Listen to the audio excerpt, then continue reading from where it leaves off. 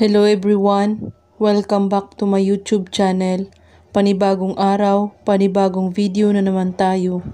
Sa araw na ito ay may ituturo ako sa inyo na simpleng gabay at simpleng pamamaraan na makakatulong sa inyo. At kung baguhan ka sa channel na ito ay huwag kalimutang mag-subscribe at pindutin ang notification bell para lagi kayong updated sa mga bago kong videos na i-upload.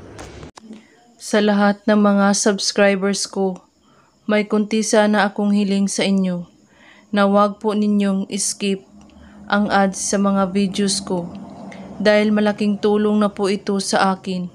Maraming salamat po.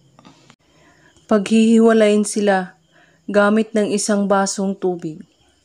Niluluko ka ba ng inyong partner at humanap siya ng iba at hindi mo alam na may iba na siyang mahal?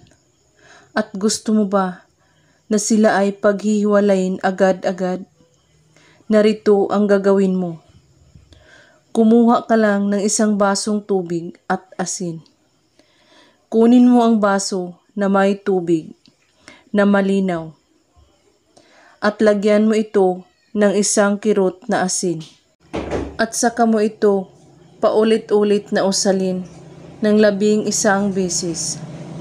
Pangalan niya, tubig na may asin, sila ay paghihiwalayin. Habang ginagawa, pakaisipin sila na maghihiwalay. At pagkatapos, ay inumin mo ang tubig sa baso. Kailangan walang natitira nito kahit patak lamang.